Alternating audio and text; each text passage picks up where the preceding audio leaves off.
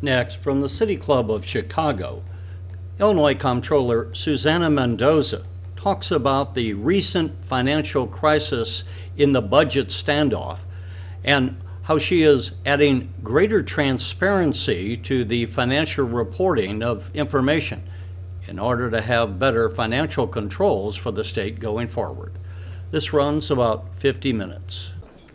Now, I want to thank you all so much for coming here today to hear a little bit about my success, our success as an office. Um, and the ability for our office to be able to open up a window of transparency that gives Illinois citizens a look into their state finances in a way that they've never had before. And I want to spend some time sharing a little bit about my vision for the Office of Comptroller.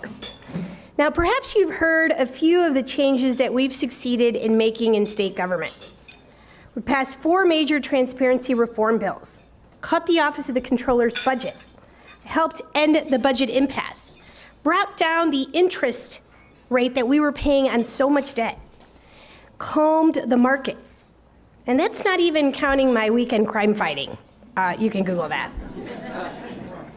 Now, today's message, I hope, will be an uplifting one because I've seen firsthand that there is still bipartisanship in Springfield. Now, all of my transparency reform bills, all of them, passed unanimously or near unanimously. Now, that doesn't happen if you're busy pursuing only a one party solution.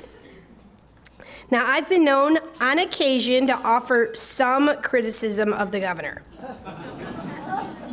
I mean, no, seriously, I have. Yeah. Uh, but that's not partisan. I criticize him because Governor Rauner has failed our state. I helped lead the impeachment effort of former Governor Rod Blagojevich. And I did that after having first been an outspoken critic of his before it was popular to criticize a governor of my own party.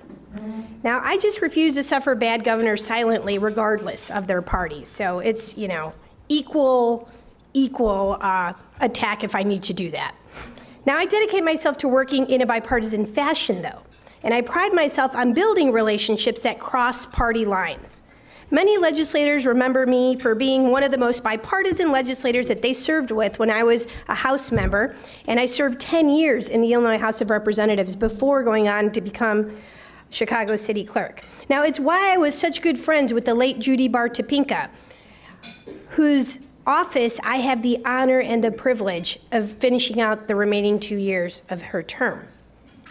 Now, that's how you get every Republican legislator to stand up with you and support initiatives that help move the state forward. It's how you get them to stick with you to override vetoes of your bills. My transparency revolution that I am so excited to talk about today is bipartisan, and I'm super proud of it. Now, before I go much further, I have a few people I do want to thank, in addition to thanking all of you for coming here today. I have a great staff of people who work an insane amount of hours. So, for those of you guys who never get the credit but make me look good, please stand up right now. And I'd like you, the crowd, to please give them a round of applause. Stand up, guys.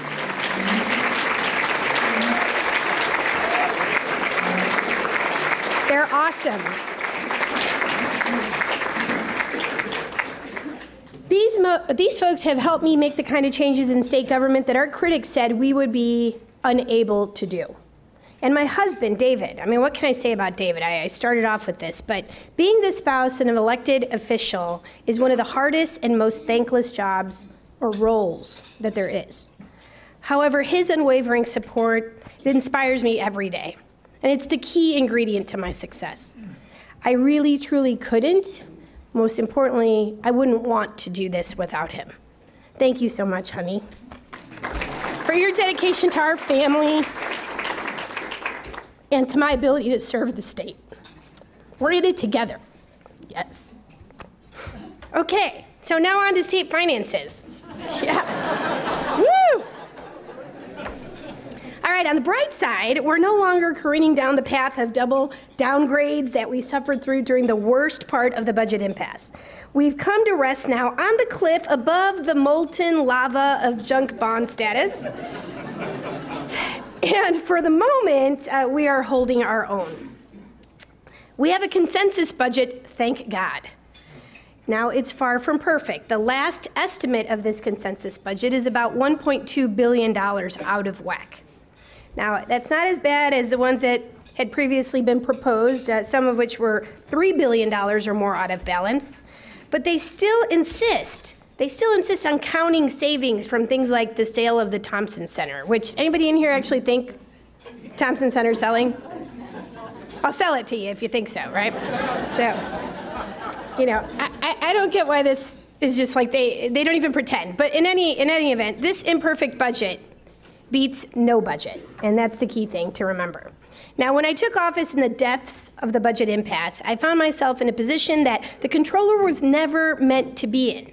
And that's making life or death decisions about who gets paid now and whose payments have to wait. And when I say life and death decisions, I, I mean it literally. Some people, it's an issue of will they be disconnected from their life saving treatments. For other businesses, it's will their business survive the ability to continue without being able to make their payrolls, right? This is life and death in two different environments a physical one and a business one. And that's because the state still doesn't have enough money to pay all of its bills. Those of you who heard me here a year and a half ago might remember me saying that being the comptroller of the state of Illinois feels a little bit like being Jimmy Stewart in It's a Wonderful Life, right? Where everybody wants their money, but I can't give them all their money. And I say, I know I owe you this, but I can't give you all this. What can you get by on? What can I give you that'll get you through the next two weeks? That continues to be the case in this role. And I did say at the time that I wanted to stop Governor Rauner from turning Illinois into Pottersville. Well, I wouldn't say we've turned Illinois from Pottersville into Shangri La by any stretch of the imagination. Excuse me. But we have progressed from Pottersville to purgatory and uh, still paying for the sins of the past few years of no budget and previous years of less than ideal budgets.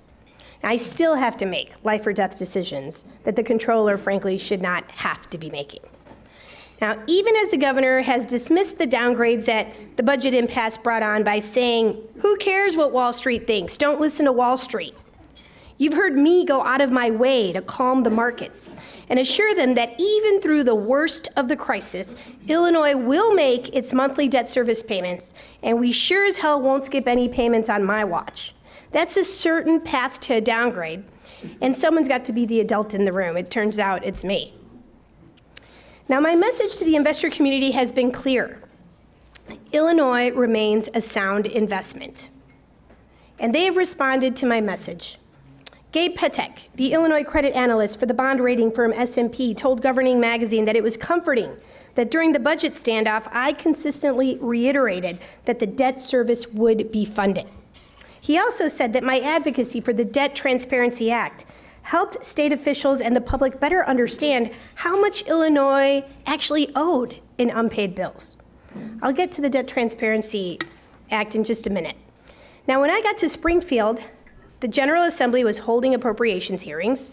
They were asking the governor's department heads and agency directors what cuts they were willing to make in their budgets. Not a single one of them offered up a single cut. Now, I wasn't shy. I have a record of leading by example on budget cutting.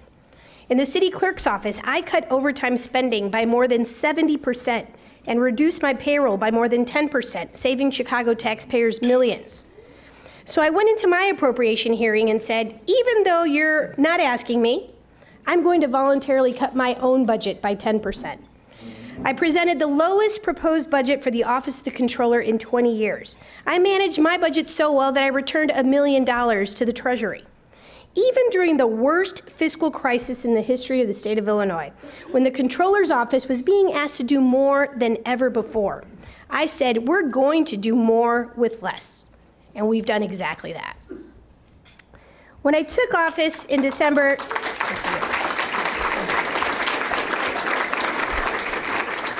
When I took office in December of 2016, the bills that were owed to hospice centers were six months behind.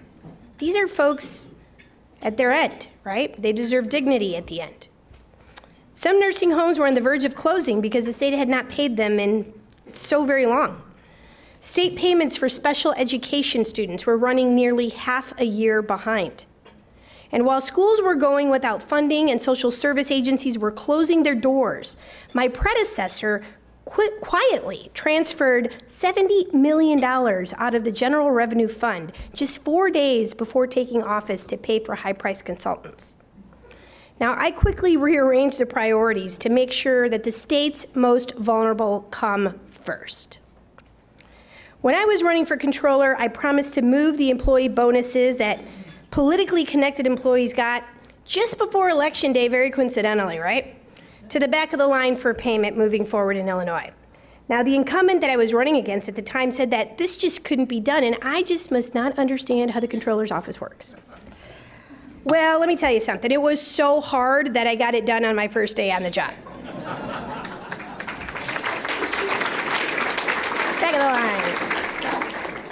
So, how did the state get into this mess that we're in right now? Uh, in large part, look, the governor campaigned for office on lowering the state income tax, which did happen, but blowing a $5 billion hole into the operating budget.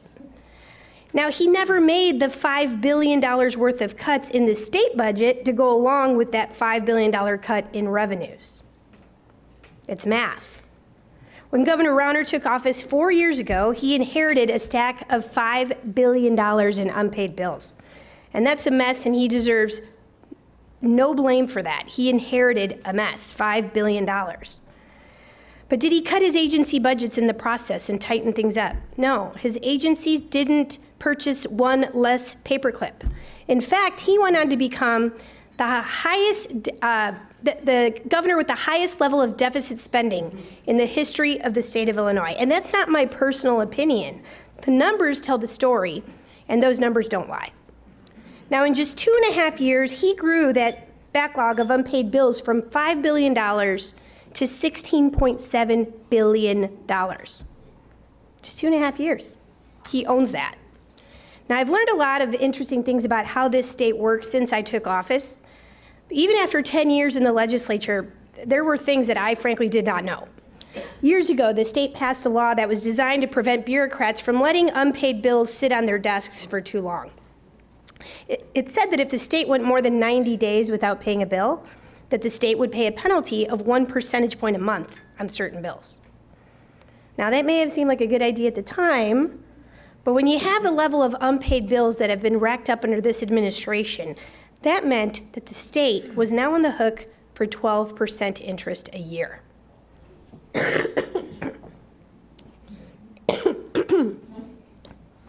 Excuse me, I have a little bit of asthma. Hold it tight here.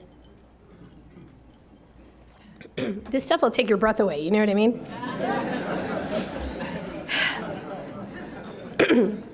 Thank you, Jay. So, um, a year ago, legislators of both parties were able to pass a budget, but the governor once again vetoed it, and that set the stage for a third year now without a budget. Now, I met with legislators of both parties, and I outlined in very stark detail the consequences of what would be a third year without a budget and the descent and the state's descent into junk bond status. Now, I released a video also that went viral really not thinking that very many people would watch it, but 2.8 million views over the next two days let us know that something struck a chord with Illinoisans. And they got to making phone calls and they put pressure on their legislators and on the governor and on the leaders to get the job done. Republican and Democratic legislators did come together finally and they overrode the governor's veto and we were able to finally breathe and have a budget. Now, that budget included authorization that I fought for to let the governor issue $6 billion worth of bonds. That would be utilized to pay off the state debt. Can you believe this guy fought me on that? Ugh. All right, so look, crazy being what it was, I had to launch a statewide tour to make the case to civic groups, to editorial boards, to clubs like this one, that this was in household terms similar to refinancing your home. Laurence Msall, thank you. Because folks like the Civic Federation and others said this makes sense. It's going to save the state of Illinois billions of dollars. It doesn't make sense not to move forward. This is not borrowing for the sake of borrowing. Keep in mind that every day that went by without going to the market on this deal was costing taxpayers $2 million a day in additional late payment interest penalties. The concept of And in home, in home terms of refinancing your mortgage, if you're paying 12% today and you could pay 3.5%, who would take that deal?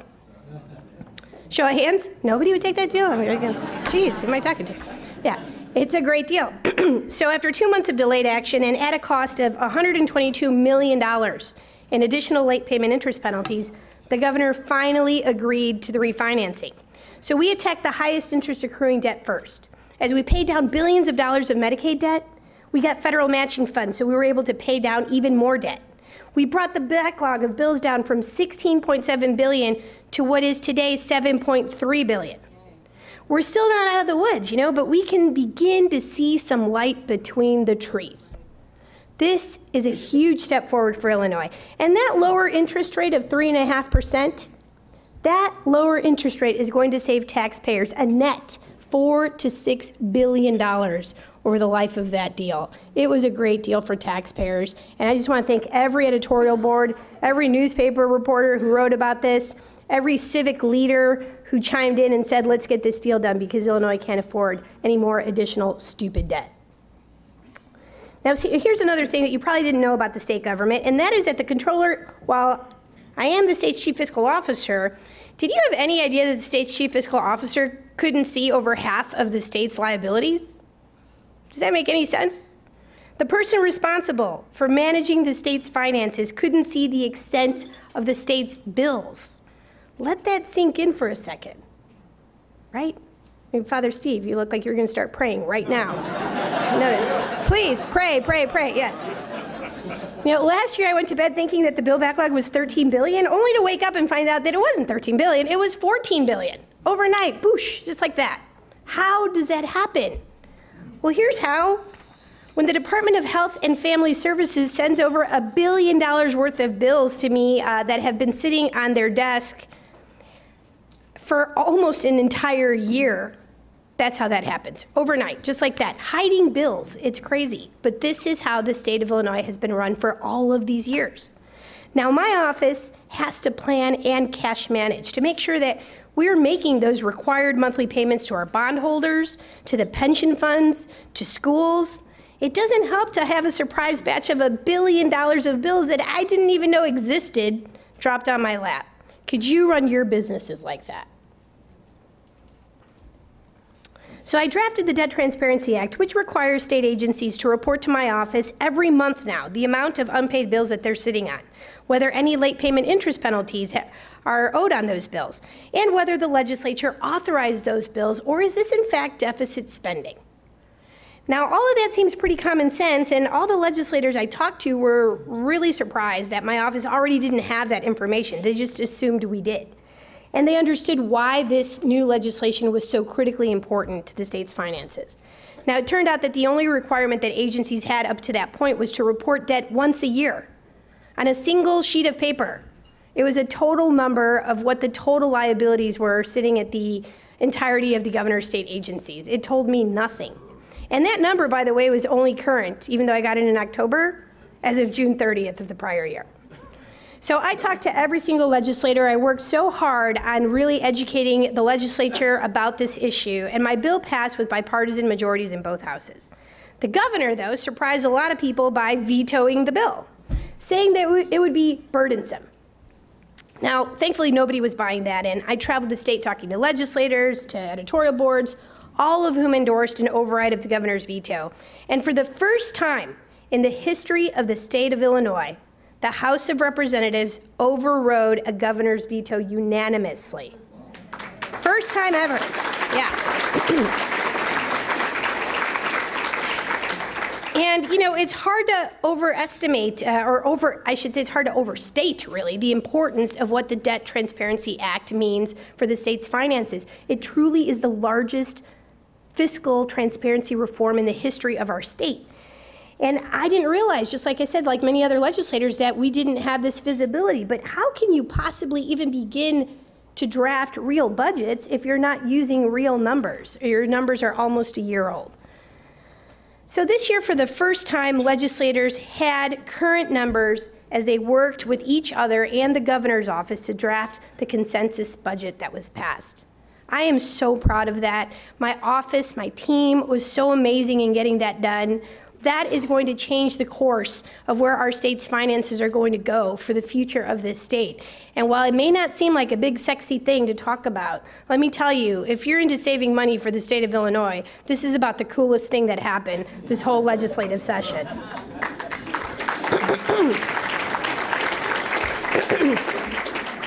now, for you numbers nerds out there, you can read our monthly debt transparency report. Uh, every month, you can read it every day. We have all of our reports starting from January. We put out a monthly report that's available to the public, it's available to the press. We want you to know how your tax dollars are being spent. My office is inspired to be the most transparent comptroller's office in the country, and we want to make sure that we are the most trusted source of government numbers when it comes to people who want to know how the money is being spent. So please go check it out on our new revamped website, illinoiscomptroller.gov. And now, thanks to that Debt Transparency Act, we finally have an answer to the question of how much that two year budget impasse cost us. All the state agencies had to report to me how many old bills they were sitting on and how much in late payment interest penalties was owed on them. And over the course of those two years, we now know that Illinois racked up over $1 billion in late payment interest penalties. Now, that's a billion dollars that will never go to Illinois schools, to home care for the elderly, college scholarships, business development, pension, or tax relief. $1 billion flushed down the drain. And that just happened in two years. And to put it in perspective, it took four different governors and 18 years prior to this administration to hit the $1 billion mark in late payment interest penalties. Illinois has had late payment interest penalties in the past, but never to the degree or the scale that we see today. Now, you know how governors budget, though, to pay back those late payment interest penalties? They don't. But starting this year, they're going to have to. Because guess what? We passed the Budgeting for Debt Act, which was sponsored by Republican Representative Dave McSweeney. And it requires that future governors spell out in their budgets that those liabilities exist and how they plan to pay back those interest penalties. And if you think that it's pretty rare that a Democratic statewide office holder would ask a Republican legislator to sponsor one of her key bills, you're right. It is unusual, but I want all of my bills to have bipartisan support. This bill requiring governors to budget for interest penalties passed unanimously in both houses. And that's because being fiscally smart and caring about finances should not be a Democratic or a Republican thing. It should be a good citizen thing.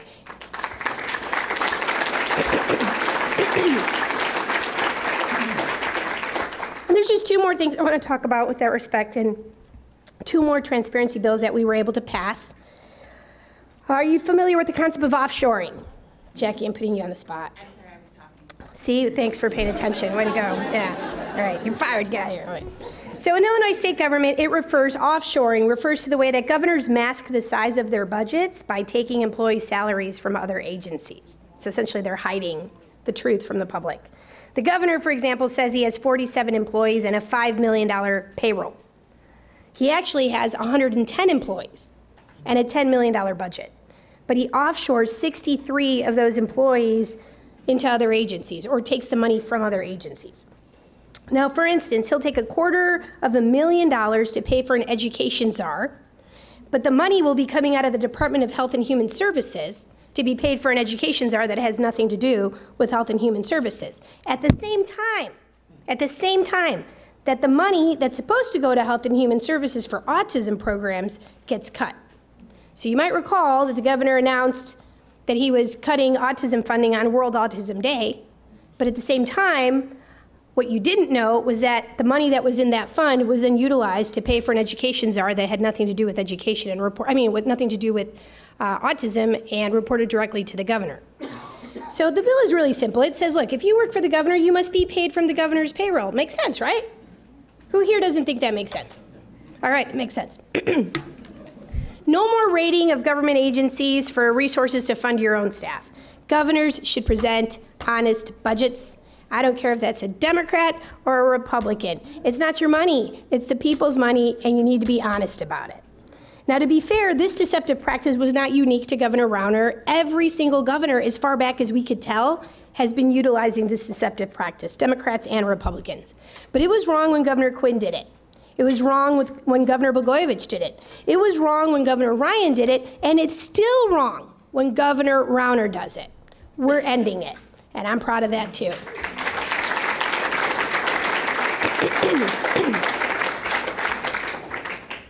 And not only did every Republican and Democratic legislator in the House of Representatives vote for that, but Governor Rauner signed it. So, see, there is hope. there is. And signing my bill made the governor feel so good that this year he signed all of my bills in my legislative packet. So, again, you know, hope is eternal. So, the, the last budget transparency bill of mine that he signed this year will let us know a little bit more about the folks that step in and lend money to the businesses around Illinois that the state is late in paying. The vendor payment program. It was started by the governor's office and it pays a pretty good interest rate, 12%, to lenders that upfront the money for state businesses that are waiting for payments from the state. So you know that during the 736 day budget impasse, so many businesses went under and many only survived because they were able to access capital from the marketplace that the state wasn't paying them for services already rendered. It was just so wrong and so anti business to have a 736 day crisis like this. Now, having said that, the advantage of the practice is that it does allow the businesses to function. The downside, though, is that we don't really have any idea who's behind these third party lenders, where they get their financing. Nothing. This bill will fix that. We're about to learn a lot more about the qualified purchasers that are making money off of the state's inability to pay its bills. We have a billion dollar program that's going unregulated. Those days are over. So, moving forward, and this bill did pass and it was signed, we will now be able to know who, there's disclosure requirements, as well as auditing requirements of this program that really centers around a great deal of taxpayer money. So that's pretty much a small taste. I mean, I know it's like finances are never super exciting, right? People don't like, yeah, we're gonna go listen to the comptroller speak today about transparency. Thanks for being here. You get extra credit points, big time. But, uh, but um, there's more. I mean, if you think, like, think of all the things we just talked about. We did all of that in a year and a half. I, I have the ability to see far down the road and want to do great things. And if you think that we've gotten a lot done, you haven't seen anything yet. When I was Chicago City Clerk, plenty of people warned me that I would never succeed in switching from one month a year city sticker sales with long lines, three to four hour long lines, to a year round sales system that saved the city $4.5 million in its first year and every year since then. Most importantly, we got rid of those three to four hour long lines. People got their lives back on that day that they'd have to go wasted. Now, I've proven it, I have a proven track record of getting things done and in implementing technology upgrades. The upgrades that we are undertaking, which many of you have already begun to see on our revamped website, they're going to make you appreciate even more the once obscure office of the Comptroller of Illinois. Now, the office responsible for putting out all of the state's paychecks is modernizing its technology infrastructure, and we will be a model of payroll and accounting innovation. I'd like the office to be looked at as the best government source for numbers and predictive modeling, setting the tone and the policies for discussions about state finance and budget, learning from the mistakes of the past so we can chart the most responsible course forward. The transparency revolution that we have brought to the state budget, actual numbers that you, the taxpayers of Illinois, of Illinois can actually see and trust empowers you, the taxpayer, to demand more responsible budgets from your legislators and the governor. So I encourage you all, every single one of you, to take advantage of these new initiatives and new access to budget transparency that our office has, brought forth. We take our role of being strong fiscal watchdogs incredibly seriously, even if that means that we in state government now have to work even harder. Remember, no matter what the problems, we need to be able to know how bad they are if we ever expect to be able to fix them. And let me just bring this back to yesterday morning. You know, walking my son to school for the first time. We don't live in a fancy neighborhood, but we felt safe walking little David to school. And every family around Chicago and Illinois should feel safe walking their kids to school. I just want to say I, I was born in Chicago. I love this city. I love my state the neighborhood I grew up in. It was a tough neighborhood. It didn't always feel safe. It still doesn't. but I know what it's like to be a seven year old afraid to walk to school. I know what it's like to have overprotective parents who wouldn't let me play outside because it wasn't safe. I know what it's like to have a murder happen in front of my house and have my parents move us out of the neighborhood overnight. I know. And I appreciate that my parents made sacrifices to move my brothers and I mm-hmm. into a safer environment. But look what can happen when a kid gets an opportunity and a good education. When I graduated from college, I chose to move back to my old neighborhood and fight to make it better. Good families shouldn't have to leave. And a zip code shouldn't dictate whether a child feels safe walking to school, whether that child lives in Chicago or in Cairo.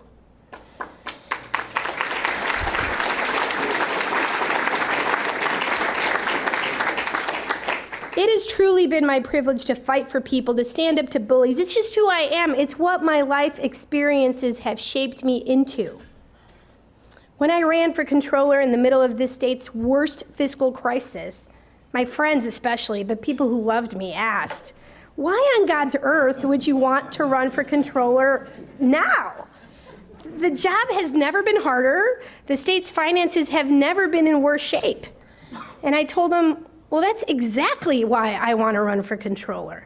Because when I see a problem, I need to fix it. It's not that I even want to fix it, I need to fix it. I dive in. I can't stand on the sidelines. Frankly, I'm allergic to that. And look, you know, anybody can step in when times are good. Uh, I like am so not interested in that. You show me an impossible challenge, and I'll show up. We live in a great city. We live in a great state, the greatest city, the greatest state. Let's be honest. No matter what cha- challenges lie ahead, and there are many, we can overcome them. I'm excited about the future of Chicago. I'm so excited about the future of our great state of Illinois. And I'm so excited and so honored that you made time to come hear me today. And for that, thank you very much.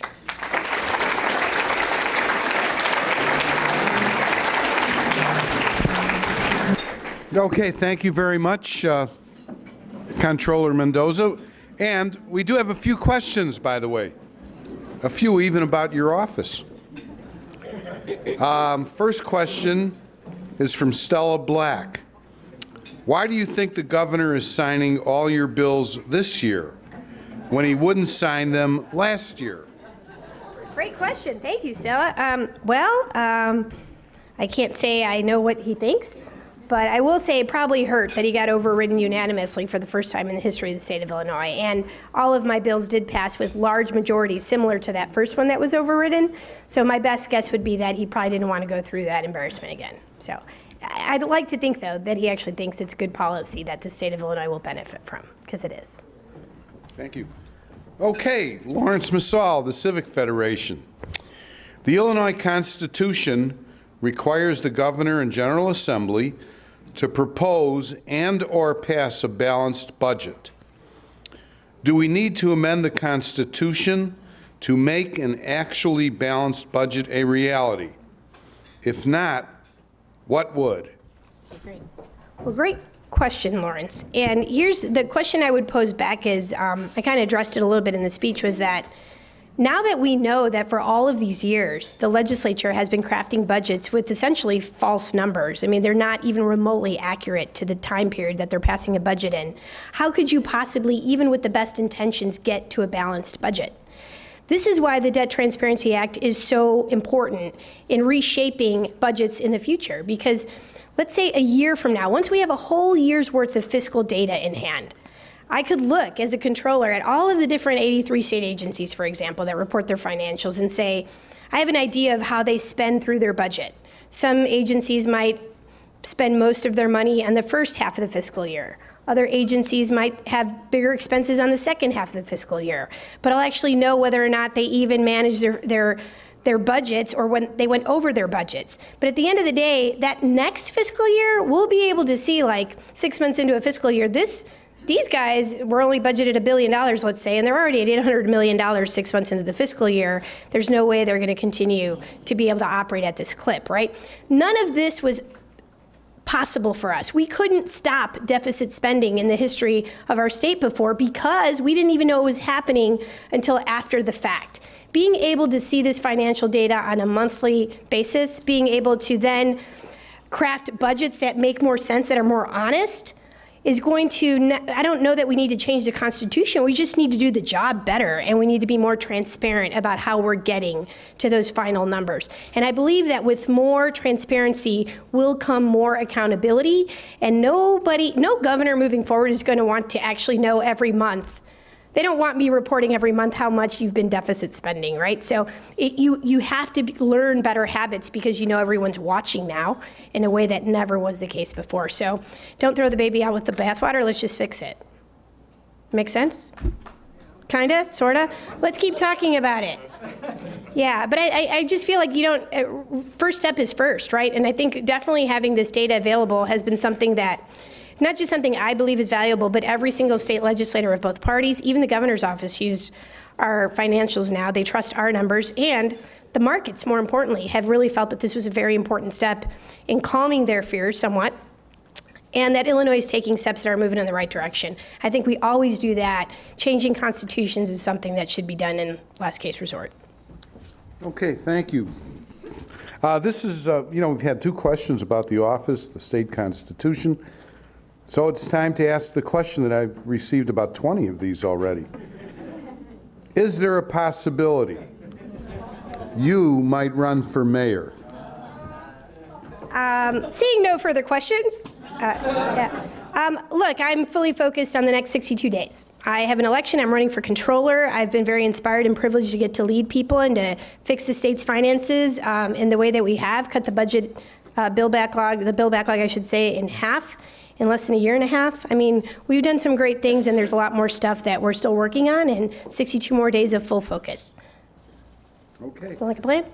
Thank you. If anyone else out there has any questions, just hold them up and our staff will come by and we'll try to answer a few if we can, given our allotment of time. this is from Sheila Weinberg, who's a member of the City Club. Hi, Sheila. You know her. So I'll give her a plug. She's with Truth in Accounting. All right. That's an oxymoron. Okay. Sorry, Sheila. The annual financial report your office produces every year contains very valuable information. How can we help you get this information into the hands of more people? And how can we get elected officials to use this information when making budgetary decisions? Uh, thank you, Sheila. Great question. Uh, well, our we are totally revamping. Like I said, our website, for example, is a portal for lots of data and financial data. We make this available. We put pressure on the state agencies to report their financials to us in as uh, quickly a time frame that would allow us to get the report out in a time frame that would actually be valuable to people. Uh, historically, that has not been the case. That the comptroller's office receives the financial data so late that by the time you're even able to legally publish it, it's really not that useful anymore. And again, without actual accurate data, those reports are pretty worthless at the end of the day. I think having the DTA, the Debt Transparency Act, uh, has really proven to be much more real-time snapshot of what our financials look like when it comes to budgeting. But I would love to partner with people like Truth in Accounting and all the other civic-minded groups out there who care about numbers and transparency and seeing how we can help each other to help spread the word about these tools that are available to the public. Great. Okay, we have a couple more questions here. Um, this is from Outen W. Outen, who's a member of the City Club.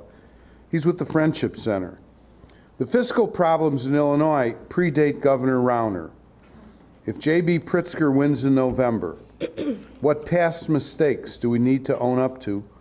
What principles do we need to stand for in the future to ensure a fair and balanced budget?